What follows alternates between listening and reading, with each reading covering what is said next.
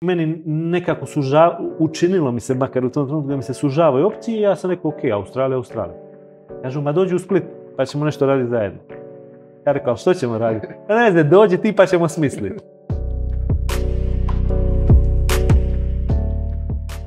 A, To su biti dešava jako rijetko. tako. Ako otvoriš kafe bar, možeš posluživati sendvič. Mhm. Ali onda kaže, ali nam treba definicija što je sendvič. Ja rekao, jer mi ćemo posluživati znači sir i kruh zasebno. Rekao, ali sad će onda neko napraviti sendvič, aj to ne može. Kaže, to više nije sendvič. Ja rekao, dobro.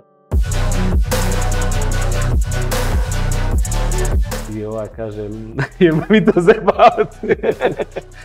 ono čime se ja želim baviti je generating demand. Da ja izazovem potražnju. I super mi je ovaj tvoj e, naslov e, Luxury Hotel Visionary. Daj mi objasni šta to uopće znači. Vidi, a, Dobrodošli u još jedan Tipsy podcast. Danas je sa mnom poseban gost, moj dobar prijatelj, čija titula kaže, moram se to zapisati, Luxury Hotel Visionary. Znači čovjek sa bogatim iskustvom u hoteljerstvu i hotelskoj industriji. Inače moj jako dobar prijatelj, zajedno smo išli na faks, nekad smo se ovaj, više družili nego što se družimo sad po stare dane. Zoki, dobrodošao. bolje te naš. Daj nam malo reci ovaj, da približimo uopće publici tvoje iskustvo, odakle uopće ti u hospitality industriji, kako si počeo, eh, gdje si sad, čisto malo da ljudi znaju s kim razgovaramo. E da otkrijemo prvo, znači ovaj detalj si rekao, znamo se dugo, ovaj, nije još četvrt stoljeća, ali se približava. Skoro, da. tu smo. Tako da evo, ko, ko želi kalkulirati godine, može lako do, do- doći do toga. Dobro se držimo, nebitno A, koliko je da, godina, da, to je to. To je to. Je, uglavnom, znači evo, četvrt stoljeća da sam ja u poslu, u visokom hoteljerstvu, uglavnom, nije od starta, ali od 2003. je u visoko hoteljerstvo.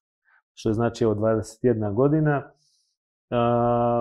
Kao što si rekao, zajedno smo studirali, zajedno smo se odlučili na neki taj put u hoteljerstvu, u turizmu i a, menadžmentu u hoteljerstvu, među ostalog tako nam se zvao fakultet, jel tako? Da. malo nas je na kraju ostalo u tom u- toj industriji, puno ljudi se pronašlo u nekim drugim e, granama, u drugim korporativnim um, industrijama i jako su uspješni. Ja sam jedan od ovih koji je ostao u, u hoteljerstvu, ali nisam sa- bio samo u hoteljerstvu, imao sam puno puteva paralelnih Da, da. s hoteljerstvom, tako da nakon e, faksa bila, bio odlazak za Ameriku, nakon Amerike Kina, nakon Kine Indija, nakon Indije a, su bili neki brodovi, pa onda povratak a, na Jadran, pa onda opet odlazak za daleki istok i 2012. sam, a, za novu godinu 2012. sam se doselio u Split i evo, to je ovih zadnjih 12 godina nekakav, a, To je dom praktički. sad. ajmo reći, to je jedino mjesto na svijetu gdje se osjećam doma, da. Da. Čekaj, imao sam zapravo ovo pitanje, nisam uopće planirao, ali je super, e, super za nadovezat se na ovo što si rekao. Ti si znači inače porijeklom iz Crne Gore. Tako, ja sam iz Kotora, E, da. odakle Crnogorac u Splitu i kako je se jedan Crnogorac u Splitu da se osjeća doma sad? Znaš što je to zanimljivo, znaš, kad ti kažeš Crnogorac, taj, ta odrednica je u stvari se prvi put desila meni u životu da me neko prozvao Crnogorcem kad sam došao u Hrvatsku. pa da, to, Znaš, normalno. ali to ti, je, to ti je u stvari uh, zanimljivost bivstvovanja na ovim našim ovaj, područjima. Da, Crnogori te niko ne zove Crnogorac kad su svi Crnogorci. Nije to, nego zato što si, eh, ako, da sad ne idemo dal- duboko u političke vode, ali Dobro, 90. godina smo mi bili na, na pogrešnoj strani. onda da. smo bili ovaj percipirani kao Hrvati. Znaš, ovaj, onda i onda ti dobiješ, dobiješ ovaj zaokret dolaskom i postaneš crnogorac. Uglavnom, meni se za to sviđa Split zato što tamo nisam crnogorac. Nisam, u biti, u Split- u Splitu me niko ne pita što sam. I to je možda najljepša, zato ja obožavam taj grad. Da. Za razliku od tih nekih ovaj, pretpostavki o Splitu, mislim da je to jedan nevjerojatno otvoren i zanimljiv grad gdje u stvari svako može biti ono što želi. Tvoja, tvoja priča je super zanimljiva, baš i to ti si došao ovaj, iz Kotora u Dubrovnik studirat, onda si ovaj nakon faksa si, i za vrijeme faksa si išao praktički putovao po cijelom svijetu, obišao svijet, radio na, na nekim ono, odgovornim funkcijama i onda si u nekom trenutku se odlučio doći u Split i tamo si odlučio se baviti ugostiteljstvom Da. i pokrenuo si Da. prvi... Ali evo, da kad, kad, kad govoriš o, o tom nekom, toj nekoj putanji mojoj na Jadranu, živio sam, znači rođen sam u Kotoru, živio u Dubrovniku, studirao u Dubrovniku, e, živim sada uglavnom e, u Splitu, radim, radio na Hvaru, na Dugom otoku i sad na Lošinju. Tako da kad neko kaže odakle si iz koje države, ja kažem ne znam iz koje sam države, ali znam s kojeg sam mora. S Jadranskog. Uvijek Tako isto. da uvijek pripadam To istom moru, konstanta, Jadranskom, da. Mediteranskom, Mediteranu, a iz koje države nemam pojma. Država u kojoj sam rođen ne postoji, tako da u stvari, znaš, ali more je tu. Da, i 2012 sam došao u Split i otvorili smo ovaj, moj, eh, odnosno naš ovaj, kolega, eh, dragi iz fakulteta i moj eh, dugogodišnji prijatelj i partner Marko Sučić i ja smo otvorili Wine and Cheese Bar Paradox. I to je isto, kao i skoro sve u životu, jedan koloplet slučajnosti. Znaš, ja, ja sam imao neku ponudu krajem 2011. da idem a, za Australiju i nazovem Marka jedan dan i on kaže, di ćeš? Ja kažem, evo, spreman se, mislim, ja ću ići za Australiju, o, imam dosta dobru ponudu, kaže on, di ćeš tamo, pa to je daleko. Pa rekao, ne znam, mislim, koje su mi opcije? Šta drugo, da. E, ovaj, to je bio jedan nezgodan period. e, Ja sam 2008. 9. 10. radio Zaman Resorts i nakon toga je kriza, ona financijska se u hoteljerstvu osjetila kako sam ja završio tu u jednom trenutku u developmentu, se osjet, development se osjetila dvije, tri godine kasnije nakon, nakon same financijske krize. Tako da na primjer, ta 11. bila dosta teška. I puno projekata je otkazano i tako su se i meni nekako suža, učinilo mi se, makar u tom trenutku da mi se sužavaju opcije ja sam rekao, ok, Australija, Australija. Kažu, ma dođi u Split, pa ćemo nešto raditi zajedno. Ja rekao, što ćemo raditi? Pa ne znam, dođi ti pa ćemo smisliti. I ja dođem u Split za novu godinu 2012. I uh, krene moja Marko Đerat po gradu i ja mu kažem, ovaj, ima li neki wine bar? Ja sam već bio head sommelier na Silver Sea prije toga i imao dosta iskustva u svijetu vina i kaže on, nema. Rekao, aj mi napiši Ti popis. htio ići u wine bar, popit nešto. Tako je, da. tako je, tako je. Ja rekao, ok, ajmo ono, daj da obiđemo najbolje splitske restorane, barove i to. I on kre- krene, znači, aha, jedan, da ih sad ne nabrajam, jer većinom nisu ni- i ne postoje više, dva, tri, pa rekao, moguće grad od 200.000 stanovnika da nema više restorana, barova, da nema jedno mjesto gdje može čovjek popiti vino na čašu. Da u skoro svakom baru i restoranu postojećem u tom trenutku, stvari, barovi, u tom trenutku barovi ne postoje, postoje kafići, postoje konobe i postoje možda dva restorana s bijelim stolnjacima. Znači ono što bi rekao restoran, restoran u, u, tradicionalnom smislu riječi. I u skoro svakom od tih mjesta, kad dođeš, pitaš ovaj, za vino, aj te pita bijelo ili crno. I to je taj domet. I u biti, kad nekad ja promislim, znači ta, sad je 2024. mi smo daleko stigli u 12 godina.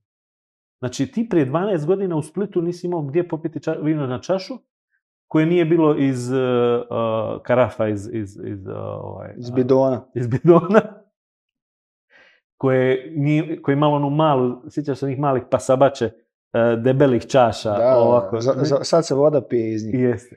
I, uh, I da te ne bi neko pitao samo ćeš bilo ili crno. I mi smo, znači, u stvari u desetljeće stigli do toga da ipak je scena nevjerojatno puno napredovala.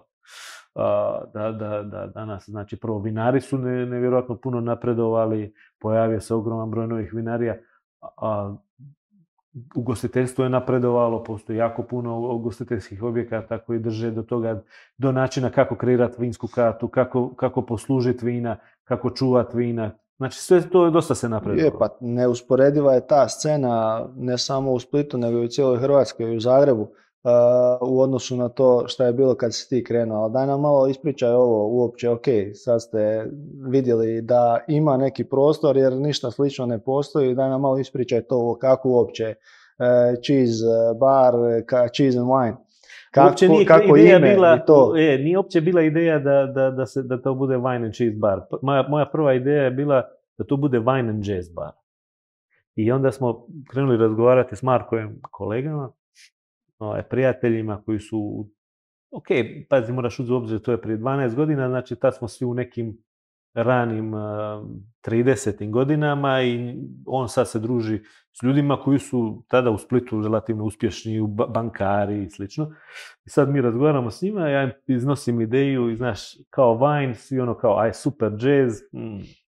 Nisu svi za jazz, a? E, I kažemo, ja, Marko, slušaj, možda ipak da ustanemo od ovoga jazz, da ga zamijenimo s nečim. Ja rekao, idemo onda na cheese. Idemo napraviti wine and cheese bar, imat ćemo selekciju sireva, posluživat ćemo te sireve sa, sa različitim džemovima, od toga napraviti cijelo uparivanje. Uf, tu opet ne iđemo na, znači, na komentar. Na. Kako sir i džem. To mi nikad neće zaboraviti koliko mi je ljudi reklo, pa ja rekao, "Ali zašto da ne? To je bilo potpuno nevjerovatno ljudima. Da bi ono nakon tri mjeseca pola Splita služilo sir, si- si- sir i džem. Ali evo, i, uglavnom tu se rodila ta ideja wine and cheese bara jer smo htjeli biti što jednostavniji u, u posluživanju, što razumljiviji gostima, ponuditi tu ideju uparivanja, sk- sljubljivanja vina s hranom, znači vina i sireva, to nam se učinilo kao i u konačnici Hrvatska je zemlja vina, ali i zemlja sireva. U, odluka je onda pala da proširimo paletu sireva i na talijanske sireve, švicarske, francuske i od toga smo krenuli onda raditi i nekakve naše plate i upa, sljubljivanja i ljudima se to jako, jako svidjelo. To je bila revolucija, znači E. to je bilo, ništa slično nije postalo, ne samo u Splitu, nego i u cijeloj Hrvatskoj. Ja znam, mi smo, nismo se ni dogovarali, nismo ni pričali, ali mi smo tu negdje u dva, tri mjeseca isto Prosto krenuli tako, sa, sa wine bar e, basementom i Tak, priča je prilično slična. Mi smo, ja i ovaj, e, Nikola smo htjeli otvoriti neki bar, e, neki birci, jer to su baš bile te godine, ajmo ono da se ekipa ima gdje sjest, skupiti, porazgovarati i tražili smo prostor. I u biti koji god smo prostor našli nije bio dobar i došli smo do ovog prostora koji je fin na kraju bio. I taj to prostor u Tomićevo, je tako? da, u Tomićevoj kod uspinjače. I mi kad smo ušli, naša ideja je bila kao viski bar da otvorimo ili ono klasičan, klasičan birc, ali kad smo ušli u taj prostor, prostor ti na neki način sam po sebi nametne e, šta želi biti, a ne šta ti želiš. Bravo, I bravo, taj prostor je imao taj cigleni svod, e, bila je vinoteka prije i no, on je nas jednostavno navuko da to mora biti nešto što ima veze s vinom i tako u biti je nastao taj koncept vinskog bara gdje smo mi prvi u Zagrebu, tad isto nije bilo ovaj, wine barova, gdje smo mi imali preko 100 vina e, na čaše, služili te neke plate malo manje sofisticirane nego vi ovaj, po regijama hrvatskim i to je bio isto inovativan koncept za Zagreb u tom trenutku, isto kao što je bilo ovo e, što ste vi napravili u Splitu, ja znam, taj sparivanje sa sirom i džemom je bilo abstraktno skroz, ali kad probaš vidiš da to ono, ima smisla. Ti si to negdje vidio, pretpostavljam, na svojim putovanjima, pa si to skombinirao u... Pa mislim, Francuzi služe ovaj, taj njihov zadnji kurs koji dođe nakon dezerta, znači dođu sirevi i uvijek je uz to dolazi, ili- do, dolazi ili, ili džem od ilje naranče, ili, a, ili ovaj, džem od dunje, ili džem od a, smokava. Znači to je bilo uvijek fantastično uparivanje, naročito s njihovim tvrdim sirevima, ali i mekim plesnivim sirevima i to je funkcioniralo uvijek fantastično. Ja sam prvi put to, to doživio, znači u, na- mom prvom izletu u tri Michelin star restoran, još tamo 2004. u- u French Laundry kod Tomasa Kellera, gdje, gdje su oni poslužili e, sireve i, i, i džemove na, sa orašasnim plodovima, znači na kraju, nakon svega, nakon dezerta. Meni isto to bilo, pa kako sad nakon dezerta se opet nešto jede. Ja? I ovaj, Desert nakon deserta. da. tako je, tako je. A, ovaj, a paradoks, odakle Da, ime? paradoks i na neki način je ostalo nakon toga All Things Paradox, znači sve što sam ja nakon toga radio ima u svom imenu Paradox, pa se tako i današnja moja firma zove Paradox Hospitality, a, Paradox Wine and Cheese Bar, a, Paradox, sve je Paradox. Pa, a, paradoks, kao što si rekao ti za prostor, e, prostor ti sam kaže što će biti. E, tako se i nama samo ime otvorilo. Znači, o- krenuli smo ići, išli smo u županijski ured za kategorizaciju. Da vidimo kako mi možemo iskategorizirati taj naš mali objekt. I mi ispričamo gospođi ovaj, tamo u uredu, a ona kaže, a to ne može. Ja rekao, kako ne može? Kaže, mogla bi pivnica, ali rekao, vinski, kaže, vinski bar to ne može. Rekao, ja se mislim, pa koji paradoks? Nije Hrvatska prepoznata kao zemlja pive, nego zemlja vina. A? Pa onda ona kaže, hm, rekao, pa možemo li mi to, jer u- u- ako otvoriš kafe bar, možeš posluživati sendvič. Mhm. Ali onda kaže, ali nam treba definicija što je sendvič. Ja rekao, jer mi ćemo posluživati znači sir i kruh zasebno. Rekao, ali sad će onda neko napraviti sendvič, aj to ne može. Kaže, to više nije sendvič. Rekao, dobro, ali otvor, ako stavimo sir na kruh i tako ga samo posložimo, je li to otvoreni sendvič?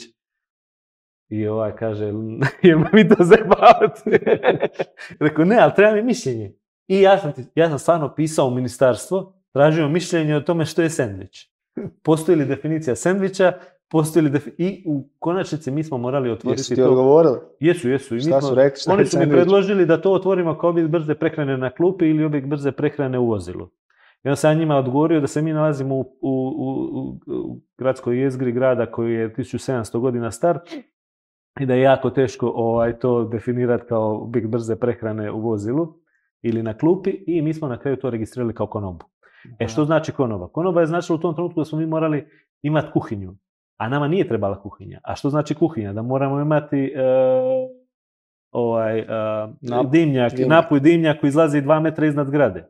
I mi to sve dobijemo. To smo mi imali istih problema, da. Tako je, sve to mi dobijemo, dobijemo nalog, sve što, krenemo mi stavlja dimnjak, evo inspekcija. Kaže, ne možete staviti dimnjak, gradska jezgra, dva metra, ne.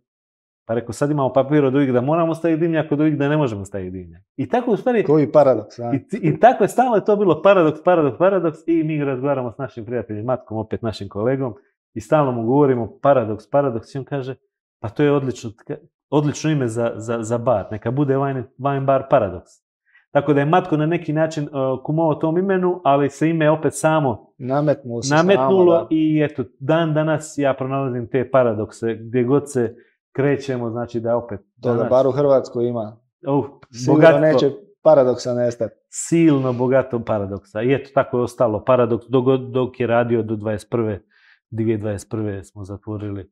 E, Znači- to je u biti, postoji onda u biti nastavak priče iz te, tog iskustva paradoksa nastala je paradigma, jel? Jer kako je taj prijelaz bio, jer paradigma je isto kao što je paradoks u svoje vrijeme bio revolucija u tom kontekstu barova donijela je nešto novo. Ja mislim da je paradigma bila ponovo revolucija, ali u kontekstu fine dininga u Splitu. Je. I paradigma, paradigma je već moje, ovaj, paradigma je bila možda moja neka i prevelika ideja a, i prerana. Htjeli smo mijenjati paradigmu dalmatinskog ugostiteljstva. I Mhm. onda smo nazvali paradigma. U tom trenutku u Dalmaciji, ne samo u Splitu, nego u Dalmaciji, a, postoji jako mali broj ozbiljnih restorana. Znači, Pellegrini u Šibeniku se već u tom trenutku etablirao, Foša radi dosta dobar posao u Zadru, Hrčo naravno radi ovaj, a, dosta dobro ili jako dobro ljeti, naročito ovaj, na, na Laganiniju, odnosno tamo na, na, na paklenjacima. I to je otprilike to, znači u Dubrovniku već 360, ali ajmo, reći, ok, Dubrovčani iako se ne smatraju Dalmacijom, ali u, u srednjoj Dalmaciji, srednjoj sjevernoj Dalmaciji jako, znači dalmatinsko visoko hotel- ugostiteljstvo, restoraterstvo u tom trenutku skoro pa ne postoji. Čak ni konobe, i dan danas je to sve još uvijek dosta, do- dosta na nekim a, počecima. Ja kažem, ok, idemo uzeti tradicionalnu dalmatinsku gastronomiju i dati joj neki moderni potpis. A, I tada u suradnji sa zaista jednim od najboljih hrvatskih kuhara, ja sam to uvjeren, Antom Udovičićem, krenemo, smo krenuli u stvaranje paradigme koja je trebala biti jedan mediteranski restoran, Na moderni a, moderni mediteranski restoran, ali opet da, da kompletno trpi svoju inspiraciju iz, iz Dalmacije.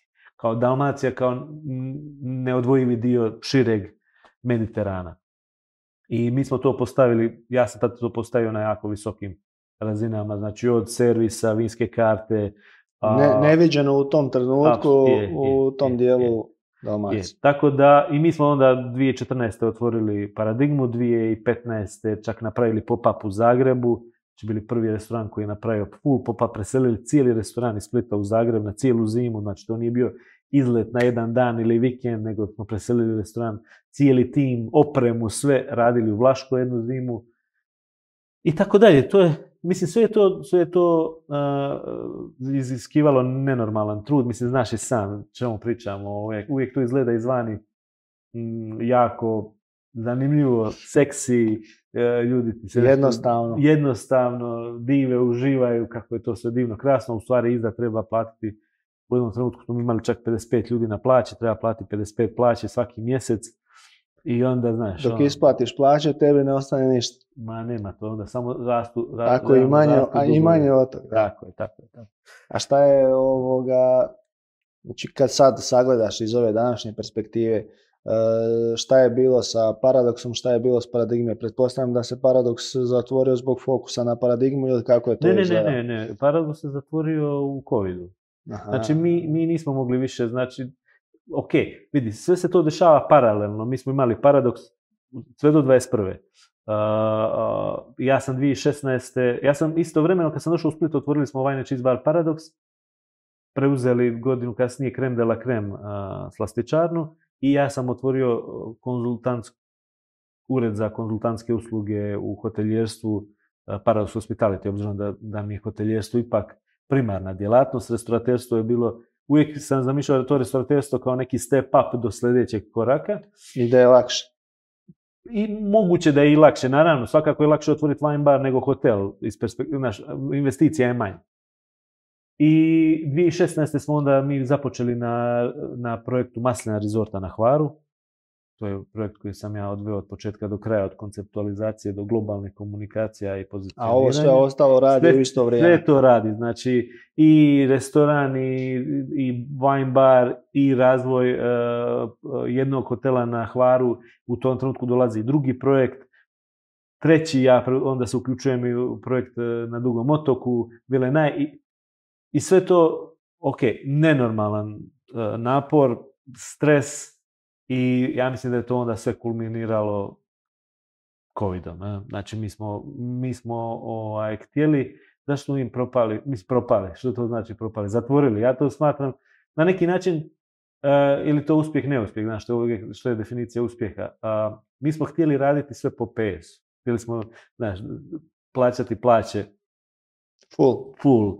A, sad to već postaje malo standardnije, ali prije deset godina stvarno... Da, naći, to je isto bila inovacija. da, to, to, je bila inovacija u biznis modelu, ono par excellence. Plaća, jer što je fora, ako nemaš keša, onda moraš i dobavljače plaćati. Znači, u jednom trenutku, čim uđeš u kompletan sustav da ti je sve a, preko računa, nema više gotovine, neće neki raditi s tobom. Neki žele se raditi samo u gotovini. Znaš, I ti e, sužava ti se prostor rada, lakše spavaš na večer, manje je novaca, ne razmišljaš ovaj, o, tome da, da, će ti, da će te jednog dana neko zatvoriti, a što se na kraju ispostavilo između ostalog? Da što ti radiš čišće, više ti dolazi inspekcije. Ovaj, tako da, smo se, da je bilo i tih dosta inspekcije, naplaćali smo se raznih nekih kazni od toga da kukica nije na pravom mjestu u zahodu ili da ne znam ja nema ključa s unutarnje strane ili ne znam tak, takvih nekih stvari ali sve, to, sve smo mi to gurali do druge godine covid Jednu godinu smo izgurali, znaš što je problem? Ti u Dalmaciji smo ušli mi iz duboke zime u COVID. Mm. Znači, Nisi imao prostora za akumulaciju. Točno, znači mi smo realno, znači 19. završili, super smo radili 19. Ali dođe ti 11. mjesec, zatvoriš, pa 11. 12. prvi, drugi, tup treći, uh, onaj, zatvaranje države. Nešto smo to ljeto kratko radili, možda 40 dana, bup opet. Tamo dok se zagriješ, toč, pripremiš sve. Toč. I krenula druga zima i kad je bila druga zima, ponovno ono zatvaranje, ja kažem Marku, to je to. Ja više ne mogu, jednostavno nemam snage, nemamo ni financijske snage, nema ni, ni, ni zdravlja, ni, ni energije i onda u tom trenutku smo zatvorili sve ali ostali su svi drugi projekti, ja sam nastavio dalje raditi na... Dobro, zatvorili 20... ste u biti paradoks i paradigmu. paradigmu. Da. A da li misliš da je jedan od, jedna od najvećih prednosti paradigme postoji najveći nedostatak, na primjer ona terasa gore koja je bila brutalna kad je bilo lijepo vrijeme, E, da li ti je to bio i nedostatak jer praktički nisi imao nekog dole prostora, tebi je bilo, ako se ne varam ovako odokativno, 60-70% servisa gore na toj terasi. U, pravo si, to je apsolutno. Vidi, koncept sam po sebi je možda bio preuranjen za Split. Znaš, ljudi su nas željeli doći vidjeti jedan put i to je to.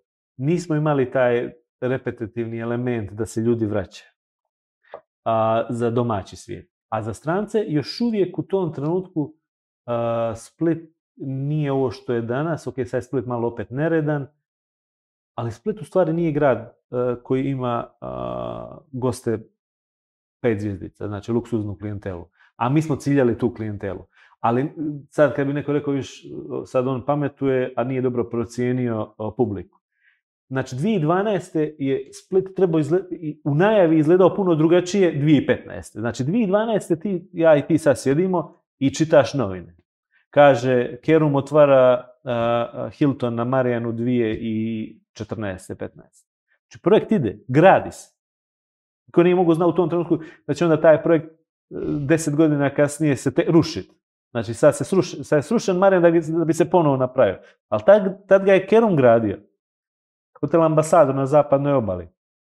Sve spremno za gradnju.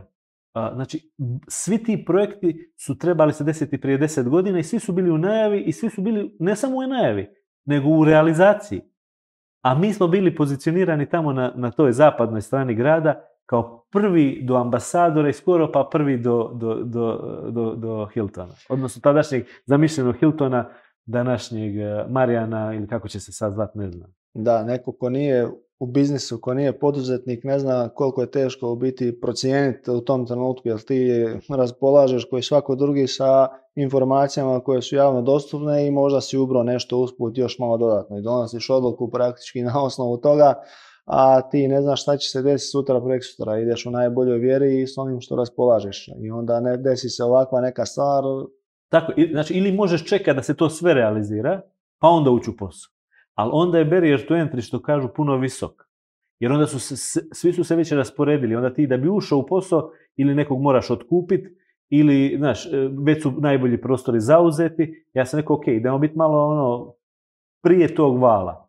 Ali opet da ti kaže sad neko, u gradnji je pet hotela i neće se nijedan realizirati u sljedećih pet godina. Nije realno, da. Tako nije realno. A to se upravo desilo u Splitu. Pa dan danas, znači, Marijan, je makar dvije godine daleko od otvaranja. A 2012. je bilo najavljeno otvaranje. E sad mi, mi pričamo o 26. možda, ne znam što je točno majstra najavila, će biti 26. 27. Ali, znaš, to nije, to je desetljeće i pol razlike. Ambasador je otvorio prošle godine. Treba je otvori prije deset godina. I sad kad ti uzmeš tih, ne znam, 300 soba u, u, u Marijanu, 100 soba u, u ovome ambasadoru, trebao se Belvi isto renovira 50 soba, 350 pravih soba, meni to sasvim I više dovoljno. nego dovoljno za sve. Tako. A šta je sad uopće u tom prostoru paradigme i paradoksa? U prostoru malog paradoksa bivšeg je, zadnjih mijenja se dosta ovaj, neka jedna mala konobica, a, dok je u prostoru a, paradigme Artičok. Jedan mm. splitski bistro koji dosta uspješno radi već 7-8 godina. Bili su na u manjem prostoru blizu pa kad smo mi izašli, oni su, oni su ušli unutra u taj prostor. Šta bi sad rekao sa odmakom i današnjim iskustvom, šta ste dobro napravili, a šta niste dobro napravili, da to bude i neka ono, možda re, pouka za sve koji razmišljaju o sličnom poduhvatu. Šta bi sam sebi savjetovao iz današnje perspektive da možeš razgovarati sa mlađim sobom u to vrijeme? Samo bi jednu stvar savjeto sebi, drugima ne bi, trudim se ne udjeljivati takve savjete zbog toga što je svaki kontekst drugačiji. Ali da je jako potrebno spavati malo više. Spavati malo više? E, znači ja sam tih godina spavao jako kratko. Šta znači jako kratko? Pa, pet sati. Znači u prosjeku pet sati. Nekad četiri, nekad pet, nekad šest. Uh, onda bih po danu hvatao negdje neki, neku malu sijestu, po ure 45 minuta. Znači, vjerojatno najveća greška koju sam ja napravio u životu, to što sam skoro pa sebe ubijedio da ja to mogu. Znači, danas znam da je to, da je to bio a, da je to bila nevjerojatna greška koja je dovela vjerojatno dobrim dijelom do puno nekih zdravstvenih problema koje se ja kasnije imao, koji danas nisu toliko dominantni upravo zbog toga što imam puno uredniji život. A, što drugi, drugi neki savjeti, ne znam, čuj, ja ne vjerujem da se moglo desiti bilo što drugačije nego što se desilo. Znači, ja ti vjerujem da, da je svijet na nekakvom uh, spoju determinizma i kaosa. Znači, ja nisam odabrao gdje ću se roditi, nisam odabrao visinu, inteligenciju ili nedostatak iste, pamet, uh, osobne Dobio šta si dobio. Točno, a? nisam odabrao roditelji, nisam se odabrao roditi na Balkanu, ništa nisam od toga odabrao. A, a nisam odabrao ni, ovo, na primjer, ni ove kaotične stvari koje su se desile tad, na primjer, da se pet hotela u najavi ne otvori ni jedan. Znači, to je, znači, imaš taj determinizam, imaš ovaj kaos koji se nađu i stvore to što se stvorilo i da se sve desi ponovo, opet bi se sve desilo isto tako. A, Pogotovo zato jer nisi mogao utjecati ni na šta, odnosno na veliku većinu tih stvari. Da. Ja bih na primjer nekada danas volio nekome reći dobro bi bilo imati malo veće financijsko zaleđe, ali što to znači? Ko, bi onda ušao? Mislim, kako je to onda poduzetnik, entrepreneur koji, koji će ući, a da iza njega ima kompletno financijsko zaleđe? Ako, ako nema tog a, a, Neizvjesnost. te neizvjesnosti, čuj, znaš, ne može go, komfort i growth i razvoj ne mogu biti istovremeno. Ne, ne, ne možeš biti komforan i razvijat. A ako, ako znaš da, da, da ti iza leđa stoji financijska... Onda te nije ni briga. Toliko. Pa ali ne, ne, nema, nema tog drajva, Da. kužiš. E, I to je, i tako da, mislim, opet bi bio neki savjet koji, kakav je koristio takvog savjeta. Ne znam, ono, iskren bi treba prema sebi maksimalno. Um, naći ljude, uh, da, naći par prijatelja koji su isto tako iskreni, koji ti mogu reći kad ti onako zatupiš nešto, uh, koji ti mogu reći daj, iskuliraj malo, promisli, možda to, možda to ipak nije najbolji put i tako, znaš. Ali granica između onoga što mi percipiramo kao uspjeh ili neuspjeh je jako tanka. I za I svakog je drugačija. Tako je, tako je. Naprimjer, jer vidi, moglo bi se reći, znači, ja smatram da je naš put jako uspješan zbog toga što je on porodio sve sljedeće korake. Svaki, svaki korak u biti rezultira nečim drugim i usmjeravate u nekom drugom smjeru. To je neka životna filozofija da u biti sve se dešava sa nekim razlogom, a onda šta ćeš ti napraviti od tog što se desilo i kako ćeš to iskoristiti na kraju ovisi o tebi. Kužiš, Moja znaš, filozofija slična tome. E, vidi, mi, na primjer, možda ne bismo dobili projekt na Hvaru Maslen Resort da vlasnici nisu večerali u paradigmi i bili u wine baru i rekli, wow, ovi ljudi zaista znaju što rade. Da, da. Kužiš, e, ja možda nikad ne bih do, došao da radim e, s Goranom Morovićem e, na projektu Vile Naj 3.3 na Dugom otoku koji je sigurno jedan od naj, najinovativnijih projekata u hrvatskom hoteljerstvu svih vremena, da, da se nismo mi upoznali, on je, on, njegova građevinska firma je radila renoviranje Svetog Stefana 2008. A ja sam njemu dao 2012. da mi renovira, 2014. da mi renovira paradigmu. I onda je on mene pozvao, ne znam, dvije, 2017. i rekao, čuj, sad ja gradim hotel, hoćeš mi pomoći? Ja sam rekao, može, naravno, prvi besplatan savjet, nemoj, don't do it. Neće ništa Vidiš naplatiti. da ipak daješ savjete, to je to. Ali tako, kad je neko, znaš, kad znam i znam cijeli kontekst, onda je malo lakše. da.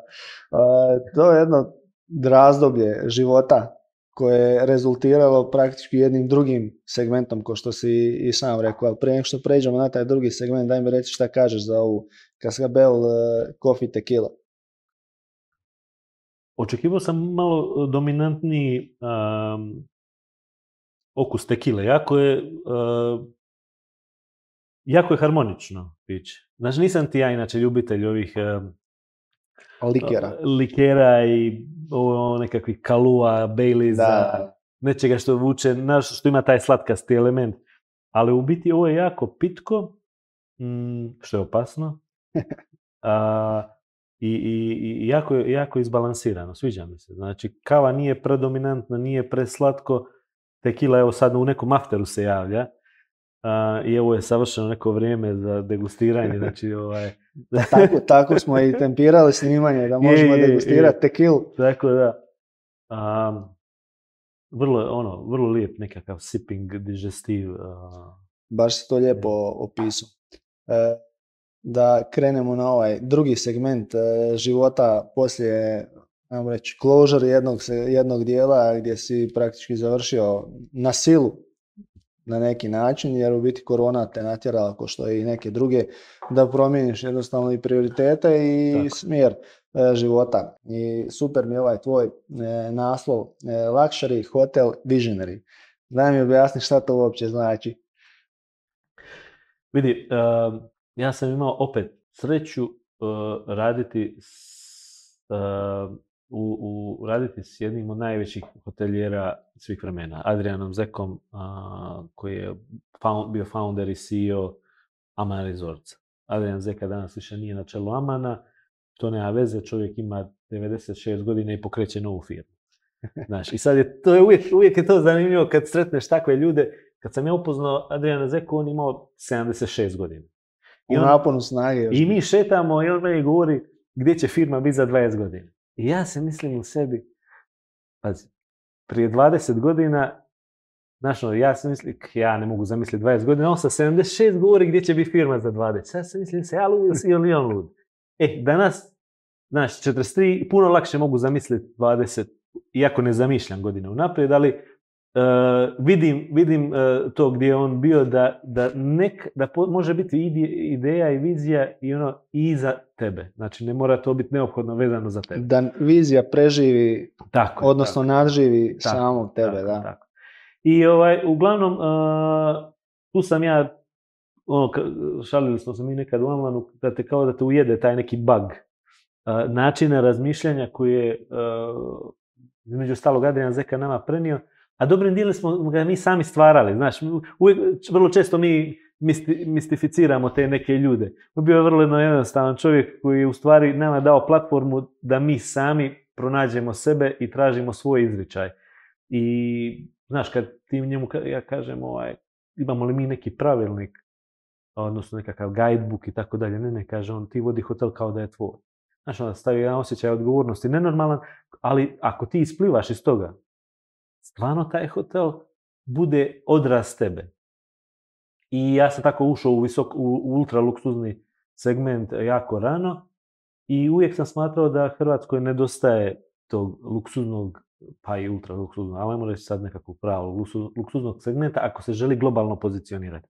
Nema, nema, nema svjetski prepoznatljive destinacije koja barem nije jednom nogom ugazila u luksuzni segment. Ne možeš ti samo pričati priču o moru i suncu, o, o, o starinama, povijesti, arheologiji, iskopima i prirodi.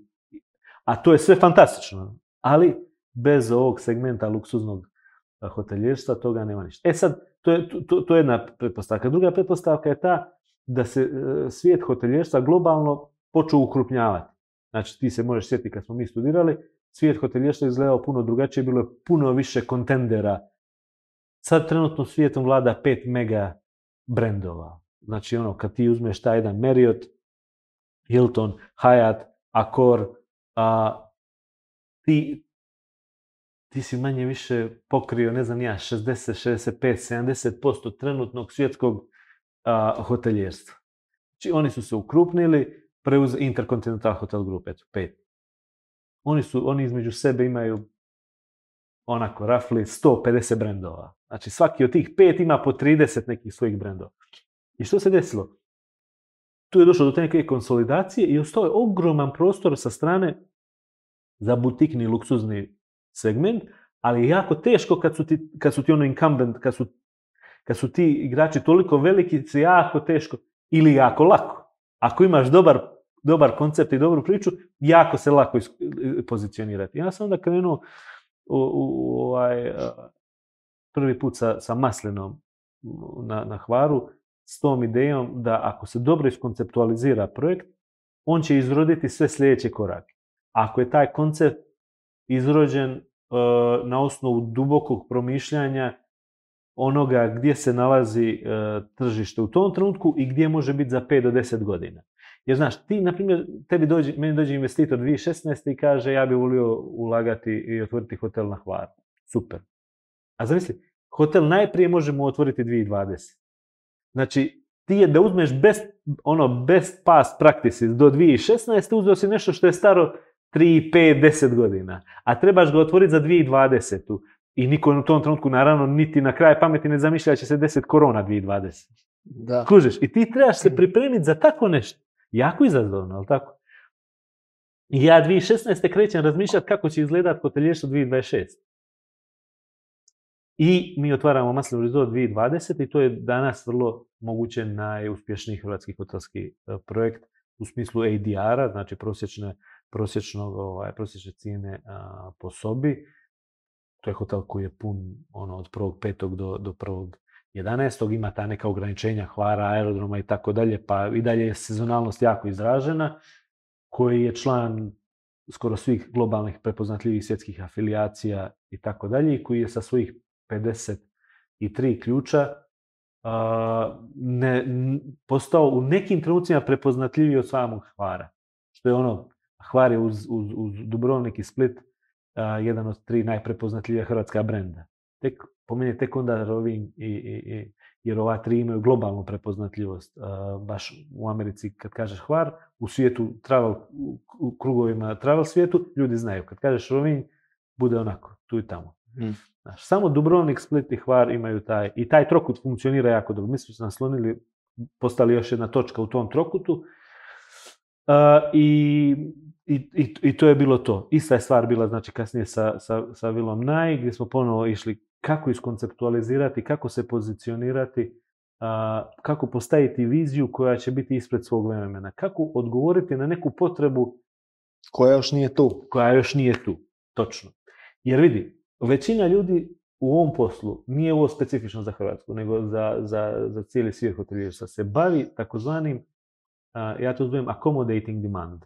Znači, postoji neka potražnja i ti onda ponudiš da zadovoljiš potražnju. Znači, zadovoljenje potražnje. Ono čime se ja želim baviti je generating demand.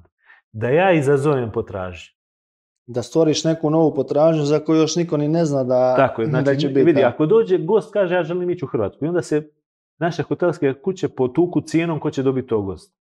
To je accommodating demand. Ako pričamo generating demand, ja sam ukrao gosta možda Tajlandu.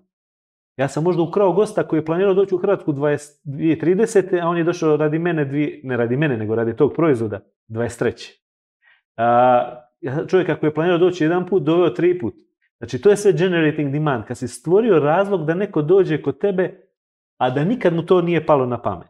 Pa, na primjer, sad ti kad ideš na dugi otok u deseti mjesec, ti ideš tamo da bi bio dio berbe, maslina i proizvodnje maslinovog ulja u, u hotelu koji je na razini najboljih svjetskih hotela, znači apsolutni ultra luxury, da budeš tamo sa, sa Eh, da proizvodiš jednu od najboljih, najnagrađivanijih dalmatinskih maslinovih ulja i, i da budeš dio cijelog tog uh, experience. Jer vidi, 2016. još nije bilo toliko očigledno da se svijet, ili 2012. da se svijet kreće iz servisne u iskustvenu ekonomiju. Imao se ti ljude koji su o tome govorili, ali ni, ni dan danas ljudima to još uvijek nije jasno. Znaš, kad mi kaže, mi se nalazimo u, u, u, uslužna djelatnost. Davno smo mi preskočili uslužnu djelatnost.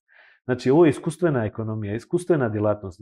ti, bitno je kako se čovjek osjeća kad mu ti pružaš tu uslugu. I on to pamti.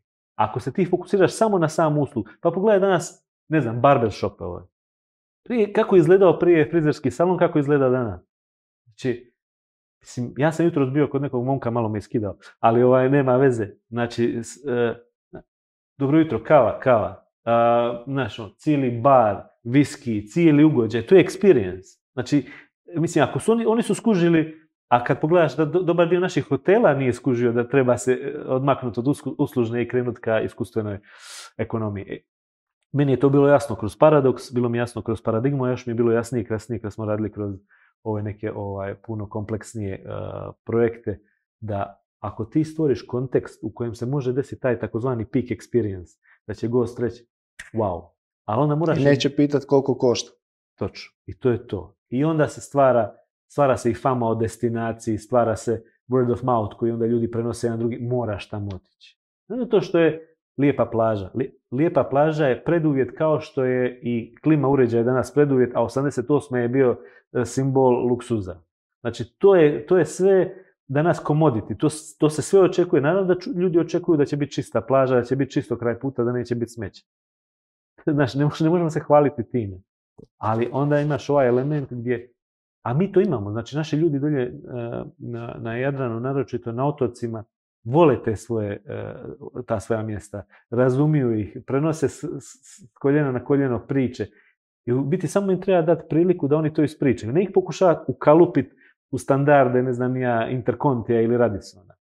Nego da mi iznađemo naš način hoteljerstva i to je taj nekakav moj, ajmo ga nazvat, mali vizionarski korak gdje želim da pomirimo globalne neke trendove i očekivanja, naš mediteranski pa i balkanski duh, način života i pronađemo u svemu tome neku mjeru i kažemo evo, to je to, to smo mi, nudimo sve ovaj ostali komfor je na razini globalnih svjetskih hotela, ali ono što smo mi kao ljudi je razlika i, i razlog zašto će nama neko dolaziti da to podijelimo sa ljudima iz cijelog svijeta. Tako, A kako izgleda uopće odluka takvog jednog gosta e, da dođe u ono jedan od destinacija koje su naveo? Kako ide taj proces odluke? Prvo vide taj trokut koji si spomenuo, onda unutar tog trokuta traže nešto ili vide o, nešto što si ti napravio pa kažu aha idemo pa ćemo onda posjetiti trokut. Šta je prvo?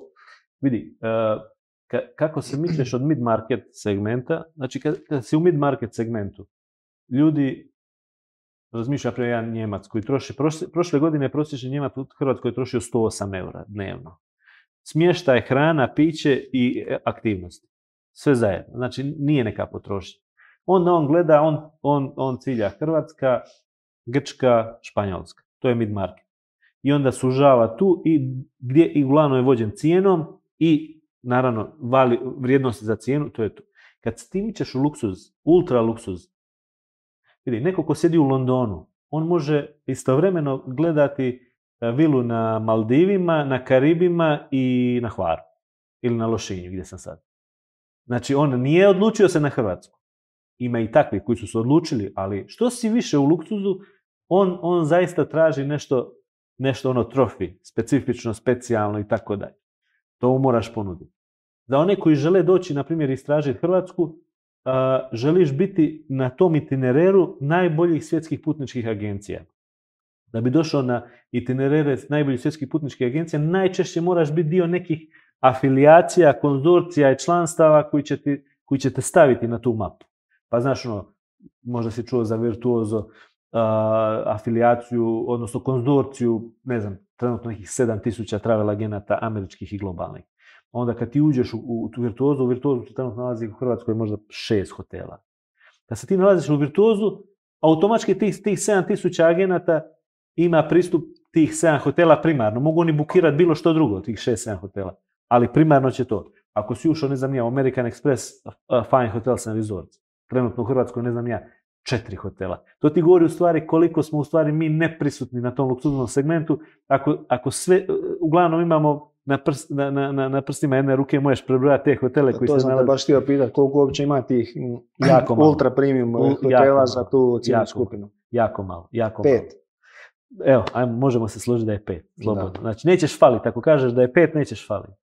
Kužiš. A daj mi reci kako izgleda uopće sad e, tvoj angažman ti si sad dogovorio suradnju sa nekim ili uopće taj proces da dogovoriš suradnju, pretpostavljam da je ono malo kompleksniji jer ne ideš ti, ok, do, ovaj došao, ajde, hoćeš nešto raditi, ti kažeš hoću, idemo raditi, evo ruka ruci, nego e, to ima neki proces i kako uopće izabireš projekt na kojem želiš raditi ili ne. Mm. Kako to izgleda? I šta onda ti radiš? Vidi, idealno, bi, idealno bi bilo znači, kad bi neko došao kod mene na, na početku procesa.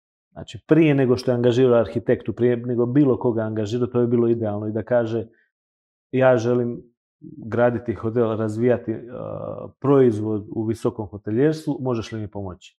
I onda da mi zajednički osmislimo design brief, damo ga arhitekti, idemo naprijed nazad i krenemo prolaziti kroz cijeli proces do otvaranja i globalnog pozicioniranja. To je bilo idealno. To se ne dešava svaki dan. A, to su biti dešava jako rijetko. Tako je, to se dešava jako rijetko. I sad, znači ja se mogu uključiti u bilo kojem od tih koraka. Međutim, da bi se ja uključio nekom od tih koraka, znači može biti neko da je već angažirao arhitektu, arhitekta je nacrtao uh, hotel, ja mogu doći i napraviti takozvani design review.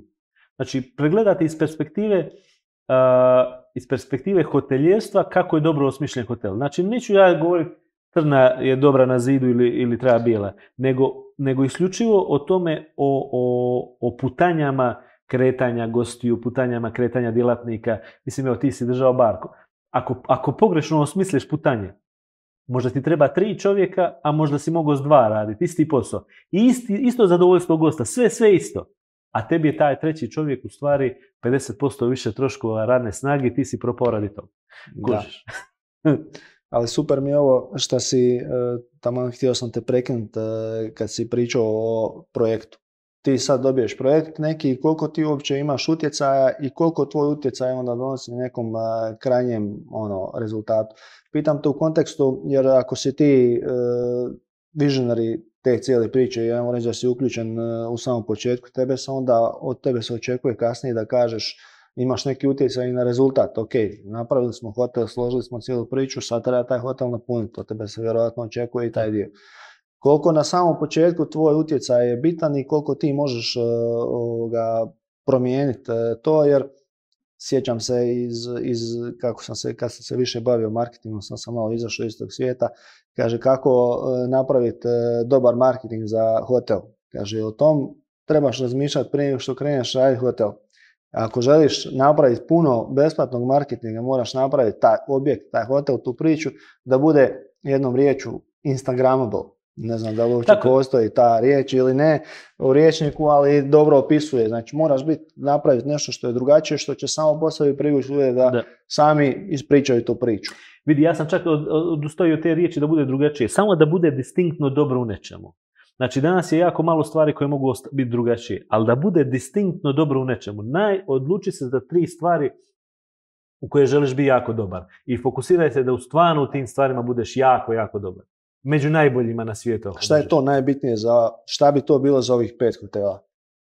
Otprilike, neki evo, zajednički nazivnik, te tri stvari koji evo, na primjer, top luxury hotela. Evo, ja ti mogu reći za, za ove moje projekte. Znači, uh, Maslina Resort, kad uzmeš uh, taj projekt, uh, mi smo se odlučili, jedna od, od, u design review jedna od stvari je bila da će on ima low visual impact. I onda smo mi dali arhitekti taj naputak da taj Šta znači treba... low visual impact? To znači da neće biti dominantan u prostoru, Aha. da će se što, što više uklopiti u prirodu. Kuž, znači, ako ti daš taj naputak arhitekti, onda ti se ne može desiti da hotel izgleda kao, ne znam ja, The View na Braču, koji je veći od postira. Znaš, kužiš, znači za to je bitan taj design review, odnosno taj design brief na startu. Onda smo mi rekli, ok, uh, želimo biti, ja sam htio napraviti hotel da bude organik. Onda se ispostavilo kasnije da je to malo prekomplicirano i bilo negdje drugdje, a ne u Hrvatskoj. Pa smo malo smanjili doživljaj tu, ali smo rekli da nećemo imati nigdje single use plastik. Znaš, i ti odmah u startu planiraš takve stvari, odmah u design briefu, to, jer onda ti onda to utječe na, na, na sve daljne korake, kako tretiraš smeće, a odnosno kako tretiraš smeće ti znači koliko ćeš ima prostorija za smeće, kako ćeš ih klimatizirati. Znači, svaka ta odluka ima ono kao butterfly efekt down the road, niz put koje utječu na, na, na, na puno toga. Ti možeš reći, ne znam, ja sam rekao da želim maksimizirati pogled. Onda smo rekli da, svaka, da u svakoj sobi krevet, umjesto da bude u većini hotela je krevet za zid, jel tako? Sako, ja ću taj hotel na sred sobe i da gleda prema vani. Da kad se ti probudiš ujutro i pritisneš u zavisu i otvoriš, da imaš pogled ovako, ležiš na krevet i gledaš van, umjesto da si na zid naslonjen i gledaš sa strane. Znaš, to su ti sve ti, ti, te stvari koje, i to onda postane Instagramable. Znaš koliko ljudi želi napraviti onu, mislim, relativno glupu fotku gdje leže u krevetu i ovaj, poplunio, se zastori na poplunio ovaj, onako nagužvan i onda oni slikaju sebi, jedna noga viri, gleda vani more i tagira tvoj hotel. Ali pazi, svako to želi napraviti. To je ovo što ti kažeš Instagramable. Nije to samo Instagramable zgrada. Experience. experience, Instagramable experience. Eto, to je to. I kad ti napraviš dovoljno tih trenutaka, ti si u stvari, to je kao scenografija za film.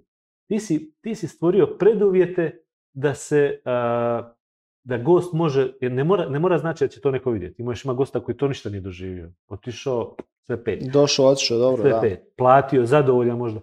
Ali kad, kad, kad, ovaj, uh, kad on ima zaista priliku to uh, proživjeti kako smo mi zamislili na tom onom, mi zovemo ono uh, mapping, uh, mapping as journey, da ti na svakoj točki putovanja, ha, gost je došao recepcija, buc, stavili smo... Experience. Točno.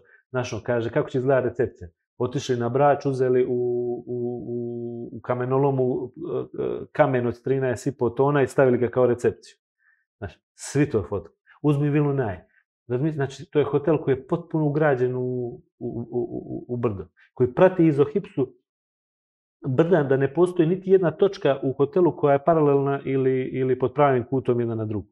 Znači, kompletno hotel ovako, kao što je bilo brdo, tako hotel prati to. Uzmi sad, na primjer, evo ja sam sad uglavnom angažiran najvećim dijelom na Lošinju, gdje sam ovaj, gdje radim ovaj, u, u surađujem s Jadranka turizmom i Lošin hotel sam vilaz.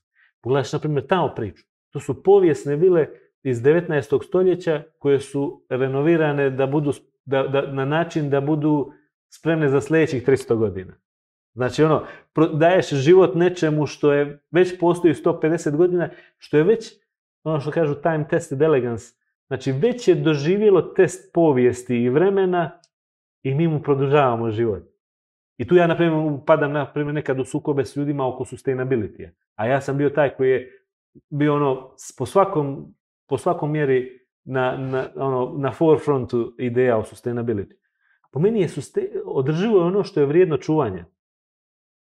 Pazi, ti kad pogledaš danas koliko novih zgrada koje se grade, se gradi po nekakvim sustainable principima, održivim principima održive gradnje.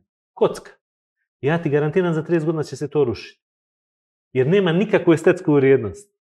Znači ne možemo, a pazi, a pokušavamo očuvati stvari koje imaju estetsku vrijednost iz prošlosti. Što znači da, da, da i dalje estetika ljudima bitna. Znači moramo pomiriti te stvari. Ne možemo znači, onako za, zatupiti samo jednu stvar. I ono zadnja stvar koju smo rekli, sad samo se bavimo time.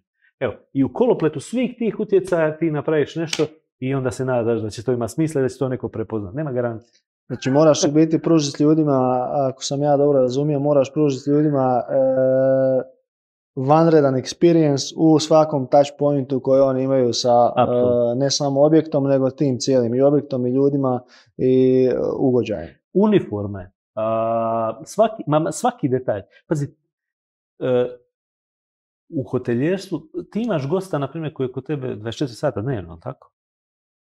I zamisli oni sad kod tebe četiri dana, pet dana. Znači, to je ogroman touch point. Zamisli sad u tvom poslu koliko su kratki ti touch pointi, razumiješ? Neko dođe na web, neko naruči. Pa mi imamo čovjeka koji je napravi 100 sati kod nas. 150 sati. Znači koliko je tu prilika za touch pointe. I dobar i loš. Tako je. I sad ako ti razmišljaš na kako svaki, ne mora, nećeš nikad doći do toga da je svaki point promišljen do kraja najbolje moguće. Ali znaš ono, pre-reservation, reservation, pa pre-arrival, pa arrival, pa ono check-in, pa upoznavanje s hotelom, ne znam, od, od nekakvog welcome drinka, do svakog detalja. I ako ti kroz svaki taj detalj pričaš onu priču koju si definirao sebi kroz koncept, ako si rekao mi želimo biti lokalni, mogu ti reći mi ne želimo biti lokalni. Možeš ti reći ja želim napraviti hotel na, na ne znam ja, izabere bilo koji otok ili negdje, na sad reći, ja želim u Zadru napraviti hotel koji... Sa tajlandskim utjecajem. Točno. Ali onda budi, budi, budi, budi dosljedan toj priči. Da. Znači onda neka kroz, kroz cijelu tu priču se e, ostvari ta tvoja vizija. Neka on ne može, on, ono, mislim, onda ne bi trebao prodavati ožujsku na baru, nego onaj Tiger ili kako se zove ovaj, tajlandske pive. Kužiš? Ali to je onda gdje ti... Dosljednost. Dosljednost, gdje ti, gdje ti ovaj, na neki način vez, vezeš taj svoj ovaj, nekakav goblen a, i, i on ima smisla u svakom trenutku. I što je fora? Ljudi počnu vjerovati u to. Ja, moj, ovo ti je dobar primjer. Ja, moj dobar prijatelj, e, zove se Andy Lark, a, jedan od najvećih marketinških stručnjaka globalno. Mi smo se tako upoznali prije 5-6 godina i od tad smo postali jako bliski. On je osmislio onu kampanju za Novi Zeland, Pure New Zealand. Um, I on mi je rekao, čuj, kaže, to je bila... Uh, mi smo rekli ljudima da je to najčešća država na svijetu, a ona nije bila. Ali ona je nakon toga postala. Jer ljudi su, ono, ono they drank their own Kool-Aid. Oni su povjerovali u to i oni su počeli održa, dovesti državu do toga da je to danas najčešća država na svijetu. Kužiš? Da. Super primjer. Bio si u jednom trenutku spomenuo da dolaziš u sukob e, ovoga, sa, kroz taj proces, e, pa sam se sjetio onog tvog jednog posta, ne znam da li je to uopće bilo inicirano nekim sukobom ili nečega, ali sjećam se da si imao rent e, ovaj, kako u nekom kontekstu da tvoj rad često nije cijenjen na neki način i da se često upliču u različitim segmentima tog rada i na kraju taj krajnji rezultat nije ni blizu onog što je bilo zamišljeno na samom početku. To mi je ono, baš sam e, se poistovjetio na neki e, u nekom sigurno kontekstu. Sigurno. Vidi, nesreća ove naše industrije je ta što e, puno ljudi vjeruje da je razumije dobro. Zato što su korisnici. Biti korisnik i biti orkestrator su potpuno dvije različite stvari. A, ili biti arhitekta tog proizvoda, pa onda orkestrator su potpuno različite stvari svi smo mi korisnici restorana, barova, hotela. A.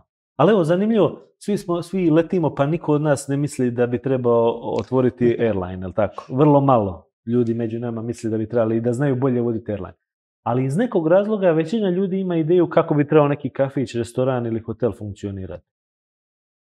I onda se ja često pitam, naš, je li ljudi traže konzultante i to je onaj, u tom nekom inicijalnom mom razgovoru uh, sa klijentima ja pokušavam otkriti njihove motivacije.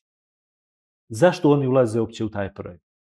Je li zato da, naš neko kaže, ja želim 3% godišnji povrat, 30 godina super, nekakav institucionalni investitor. On znaš na čemu si. Neku familiju, zašto želi ući u projekt? Kaže, želim da djeci da se nečim igraju. Ono bježi dalje od toga. A, da, I pokušavaš, onda neko kaže želimo ostaviti neki legacy iza sebe, sve pet. Znaš, svako ima neki različit, različit motiv kojeg vrlo često nije ni sam svjestan i nije iskreno oko toga koji je, koji je taj motiv. Ja pokušavam iskopati tu motivaciju. Prije nego što se uopće odlučiš. Tako. E, međutim, i, i, i ako ja iskopam donekle tu motivaciju, ne znači da će sve biti nakon toga smooth sailing. Jer uđeš i onda ne znaš u stvari su te ljudi angažirali samo da bi dobili validaciju neke svoje ideje. Znači, I sad super dok se mi slažemo. Neko kaže ja imam tu ideju, ja dođem, pogledam, kažem odlična ideja, možemo je razraditi u sljedećim koracima. Fantastično, ljubav, cvjeta. I onda u jednom trenutku dođemo do toga, ja kažem, ali ovo više nema smisla, znači sad to. I ti si u tom trenutku neprijatelj. Imaš konzultantski ugovor koji te drži 15 dana, znači ono, uh, i, ti si izletio sljedeći dan s posla. Znači, Kužiš, e sad, ovisi sve o tome, ja, meni nije bitno zadržati posao, ja želim raditi onako, imam neki svoj vrijednosni sustav i dogod je to u skladu sa zakonima, nekakvim moralnim načelima i mojim standardima međuljudskih odnosa, ja ću ostati, ali kad krenemo ulaziti u neki od, te, u, tih segmenata, ja sam malo. Onda dalje, znači, e, skužiš situaciju, znači, ok, konzultanti te mogu uzeti samo da bi validirali neku svoju ideju. Mogu te uzeti zato što između sebe se ne mogu dogovoriti i da bi iskoristili te kao nekako žrtveno janje. Znači, jer nema šanse, oni se između sebe ne mogu dogovoriti, ali oni su opet između sebe bliži nego što si im ti. Da, ti si tu ušao kod treći kotač. Točno. A najčešće se to dešava kad su familije investitori. Znači, ti onda imaš, ne znam ja, otac i sin, otac i čer, žena i muž, razne neke kombinacije, dva brata imaju različite ideje. E, sad ćemo mi dovesti Darija, pa će nam Dario reći. Dario naravno dođe sa svojom idejom koja je uvijek bliža jednoj strani. Skoro nemoguće biti kompletno da. udalje. Znači, stvorio si jednog, jednog polu jedan polu pozitivan odnos i jedan krajnje negativan odnos. Znači, tu je šanse za uspjeh su opet ono stvarno kog listi na autoputu. Tako da, i dalje, onda ljudi zaista pomisle kako je sami posao toliko zanimljiv, seksi, žele biti dio toga, da im zasmetaš u jednom trenutku. Znaš, onda kaže, ne, ne, ali ja sam taj, to je... Ja kažem, ne, ne, mi smo, baš je bio novac, ali moja vizija. Znači, jedno bez drugoga ne funkcionira. Ima toliko ljudi u svijetu s novcima, pa ne znaju što će s njima. Mislim da je tako jednostavno ulagati novce. Mislim, ne bi nikad niko bankrotirao. Znači, ljudi koji su s novcima velikim, samo bi gradili, a ti čitaš svaki dan uh, suprotne priče. Znači, uopće nije lako, ali ako ti ja dođem s vizijom, sa znanjem, onda smo mi, možda nismo 50-50, ali imamo neki odnos partnerski. E, to vrlo često ne dobiješ. Znači, ja, ako nađeš prave partnere, drži se toga. Šta je, jedan od deset? Hm? Da nađeš pravog takvog koji iz tvog iskustva, koliko često Vjerovatno se uopće... tako si u pravu, vjerojatno jedan od deset. Da. Da. E. Vidi, ljudi ulaze, mm, znaš, naprijed, kod nas u Hrvatskoj puno ljudi ušlo u hoteljerstvo zato što su bili u građevini, a ovo, je jedna, ovo nije priča o bilo kom pojedinačno, nego ovo je jedan Generalni pregled. Znači, čovjek je građevinska firma, e, ne znam, ja gradio je nekome nešto, ovaj je propao i ovaj umjesto da mu plati, dao mu je tu zgradu. I sad ovaj sam je ova zgrada, tu stoji, što ću sad s tom zgradom, razmišlja se hoću li napraviti neke stanove, apartmane, ako možda nije te, ako nije ono M zona, S zona, nego možda T zona, uf, mora napraviti neki hotel, a ne, ja imam tamo nekog kooperanta, pa ću mu reći da mi to malo dovrši, stavi neki namještaj i mi ćemo to super raditi. I onda to krene i onda tako mene nazovu. Znaš, trebalo bi mi malo pogledati. Kad malo to. zapnu E, ili e, te e. onda tebe zovu. I ja kažem, sad je kasno. Znaš, ja sam se susreo, s, na primjer, s komentarom, kaže mi čovjek, mislim, sve super su to ljudi, ništa sporno, nego samo je nedostatak edukacije. Kaže pa meni je trebalo, ne znam ja, deset godina da na ja izgradim ovaj hotel i sad ti meni hoćeš reći da treba mi još tri godine da počne raditi. Rekao, ne, ne, deset godina nam je trebalo da izgradite zgradu. A hotel se počeo graditi onaj dan kad se otvorio. Ili šest mjeseci prije. Ali hotel je zaživio... Hotel prvi nije gost- zgrada. Točno. I on kaže, pa čekaj, hoćeš mi reći da će sad treba deset godina... ko-" Pa rekao, ali odakle ono strpljenje deset godina da se izgradi, a sad toliko nestrpljenje da nešto zaživi. Ne funkcionira jedno i drugo tako. Ali ta miopija tu postoji gdje jednostavno ovdje čekamo 20 godina, a ovdje bi nakon tri mjeseca vidi uh, ono, kao, di su gosti? A di su?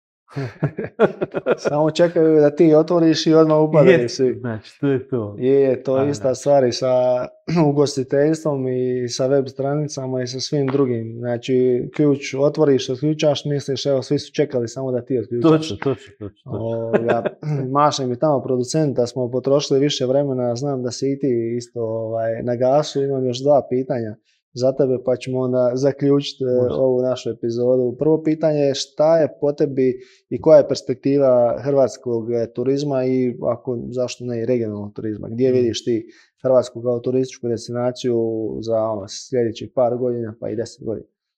Vidi, ja mislim da je opet e, kolopletom geopolitičkih i klimatoloških ovaj, preduvjeta Hrvatska, odnosno Jadran cijeli na dobroj lokaciji. Znači, Hrvatska je sigurna zemlja, a, zemlja lijepog mora, čistog mora, do, još uvijek donekle neke domaće, iako svaki dan sve manje hrane, malo više vina, a, i nalazi se znači i u NATO, u Europskoj uniji i znači svi su tu preduvjeti da bude percipirana kao jedan mainstream uh, mid-market turizma. I tu smo mi dosta sigurni. E sad, ako se želimo pozicionirati malo više u luksuznijem svijetu, tu će trebati educirati jednu cijelu novu generaciju ljudi i treba će izgraditi još malo infrastrukturu. Jedno, jedno i drugo, jedno, jedno nije dovoljno bez drugoga. Čak ako izgradimo jednu novu generaciju, educiramo jednu novu generaciju ljudi, možda će oni biti ti koji će onda pokrenuti i popravljanje infrastrukture, jer vrlo često to dolazi od samih ljudi koji su onda na vodećim mjestima, možda u nekim hotelskim kućama, pa će onda pomalo gurati prema naprijed. Um, Ja mislim da nam je neophodan e, još dublji izlet u luksuzni e, svijet, radi toga što bez toga nema globalnog pozicioniranja. Znači, trebaju nam i neki brendovi, treba nam da mi sami izgradimo neke svoje brendove, zašto ne bi bio neki hrvatski globalno prepoznatljiv brend, ali i ljudi. Mene, ja vrlo često upadnem u mali problem kada sam na nekim konferencijama, panelima i slično, kada kažem daj mi na broj pet najboljih hrvatskih GM-ova. I onda ljudi stanu, ne može nabrojati uopće pet, a ne pet najboljih. A kažem, ok, a daj mi pet koji bi bili globalno, da bi mogli ih sad uzeti, puc, staviti negdje bilo gdje u svijet. A ne onih naših koji su negdje vani, pa da ih vratimo izvani, nego koji su sad tu, koje gradimo. Vrlo ih je malo. Ne zato što ih nema, zato što nisu naši ljudi pametni. Nego ne dopušta se takav razvoj ljudi. Još uvijek su sustavi prekorporatizirani i u stvari funkcioniraju po onim principima vrlo sličnim kako su funkcionirali i prije 30 godina. Mjesto odlučivanja je jedno na vrhu i onda su sve, sve se spušta prema dolje. Bez, bez razvoja e, kvalitetne, kvalitetnog menadžmenta, ne kvalitetne radne snage. Znači, mi možemo nadomjestiti dosta, dosta, dosta ovaj dio oko radne snage. Ali jako je teško nadomjestiti nedostatak kvalitetnog menadžmenta i, i kvalitetnih uprava, ljudi koji razmišljaju ono, 3-5 godina unaprijed, koji se mogu pojaviti negdje i biti lica industrije. Evo, ti si, ti si u ovom poslu razgovaraš s ljudima. Mi imamo jako malo lica industrije koji, koji prezentiraju. Znači, ako evo, pomenuo si Matu Jankovića, radili ste prvi podcast s njim. Par šefova, par somelja i to je to. Par restoratera tu iz Zagreba i tu je kraj priče. Gdje su naša lica industrije? A zamisli, ova industrija nam donosi, ne znam, 18% BDP-a godišnje, možda i 30% kad bismo pogledali sve vezane industrijske grane. Zamisli ako je to zaista 30%. A gdje su lica koja predstavljaju tu industriju? Da.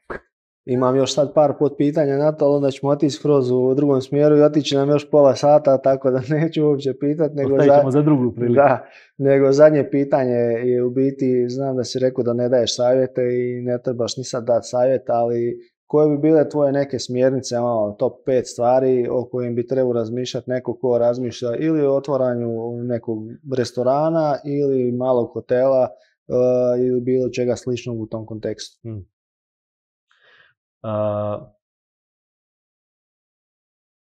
Vidi, e, neko ko nema uopće iskustva u, u, ovoj industriji, mislim da bi se trebao, uh, trebao bi dati povjerenje ipak nekome ko, ko zna, ko zna nešto. Znači, ako malo ko ide braniti sebe na sudu, nego uvijek traži odvjetnika, malo ko ide raditi svoje financijsko izvješće, nego ide kod, kod knjigovođe.